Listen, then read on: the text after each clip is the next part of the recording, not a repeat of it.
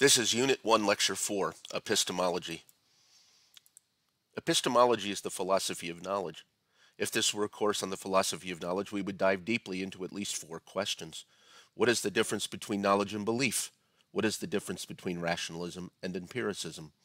What is the difference between skepticism and certainty? And what is truth? Concerning knowledge versus belief, we can begin by recognizing that in ordinary English, knowledge implies certainty and belief does not. If I said I know my first name is Christopher, but I don't believe it, that would be odd. You might say, if you're not sure, then you don't know it. On the other hand, if I said I believe it's going to rain, but I'm not sure, that makes perfectly good sense. So it's apparent that knowledge and belief are different. But if they're different, how can we know something and believe it at the same time? That seems to imply that I am both certain of it and not certain of it at the same time. Perhaps it's possible to know something but be wrong. The that theory is called fallibilism, and it insists on just that. But again, that seems odd to say that I know my name is Christopher, but I could be wrong. Maybe knowledge is just belief of a certain type. In philosophy, we often hear that knowledge is justified true belief. If I believe something and I'm justified in believing it and it's true, then I must know it. I believe it's going to rain tonight and I'm justified in believing it because all the weather stations are saying so, and the clouds are roiling outside, and the barometer is falling, and lo and behold, it rains. I must know it. So we're still left to wonder what is the difference between knowledge and belief? We'll have plenty of occasion to bring this up again as we go through the course. Rationalism versus empiricism to many people is the fundamental question in philosophy. It has to do with how we acquire knowledge. Do we acquire it through reason alone, as the rationalist says, or do we acquire it through sense experience, as the empiricist says? The word empirical is rated, related to words like experiment and experience. According to the empiricist, if you can't taste it, touch it, see it, hear it, or smell it, you can't know it. Consider the problem posed by Mr. Molyneux some 300 years ago. Molyneux says, Imagine a man who's been blind since birth. He can tell the difference by touch between a sphere and a cube of roughly the same size and material. Now, if he suddenly received his sight, could he immediately tell the difference by sight alone without touching the sphere and cube? Which was which? The rationalist would say yes, because the man already had the concepts of cube and sphereness in his mind prior to any sense experience. The empiricist would say no, because he would have to be taught the connection between what feels like a cube or sphere and what looks like a cube or sphere. Then there's skepticism versus certainty. Skepticism is the view that we cannot know anything. We said earlier that knowledge implies certainty, at least in ordinary English. If knowledge implies certainty and we can never be certain of anything, then apparently we can never know anything. On the other hand, the anti-skeptic says that there is common sense and we can be logically certain. For example, as you're listening to my voice, you know that either I have a mustache or I don't. You may not know which one, but you know it has to be one or the other. You're absolute, absolutely certain that it's one or the other. That's logical certainty. And then, quite problematically for the skeptic, is that it seems contradictory to say, I am certain that I don't know anything. So the skeptic has a lot of work to do to convince us that we can't know anything. And frankly, between you and me, I don't think the skeptic will succeed. This gets us to truth. You remember when Pilate asked Jesus, What is truth? And Jesus remained silent? That was a wise move.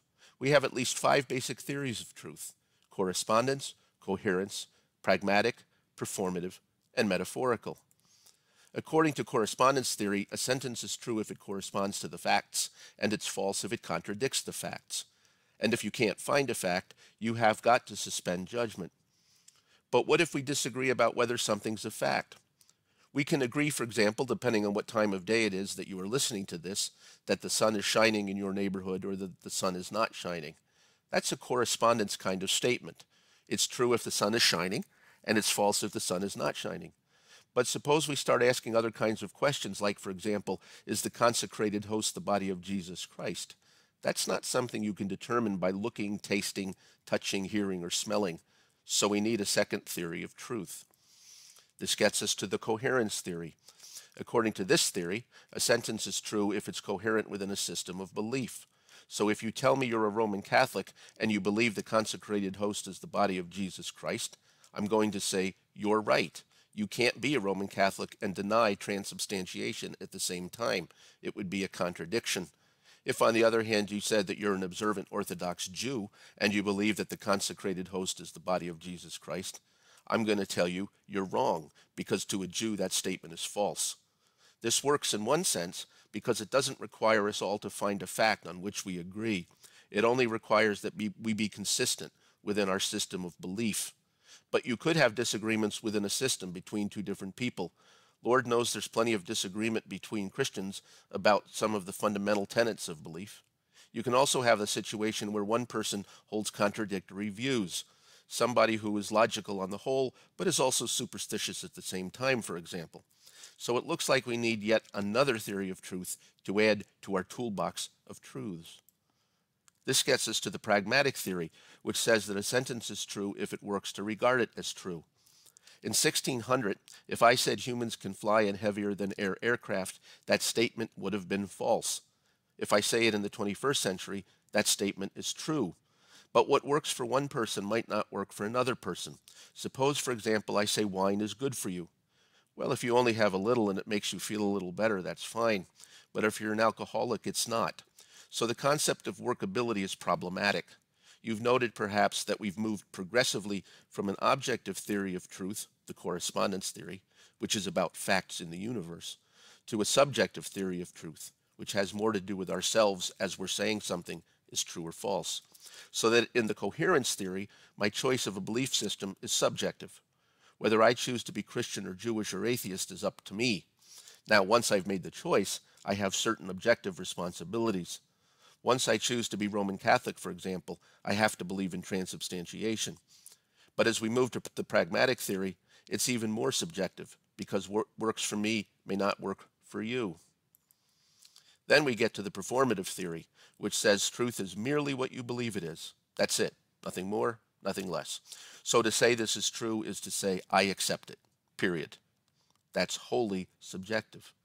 The primary objection is it might be too subjective, because if I say I believe I'm a 10 foot hairy concert pianist, I can say it all I want, but it's simply not true. There are people, including within Christian circles, who will make the case that truth is performative. Finally, there's metaphorical truth.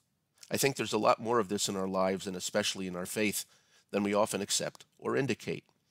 So to say jealousy is a green-eyed monster, for example, is metaphorically true, even though it's not literally true. But I wonder whether there isn't much that we hold to be true in the Bible that's also metaphorically true but not historically true. Certainly the first cousin of a metaphor would be a fable or a parable, which is really metaphor with a plot. So for example, when Jesus tells the story of the prodigal son, he's telling us a truth, a very deep truth, but it's not necessarily an historical truth. So let's keep this whole set of five truths in mind as we work through our course, wondering what's true and what isn't. This is the end. This is the end of the introductory lecture on epistemology. Next, a look at ethics.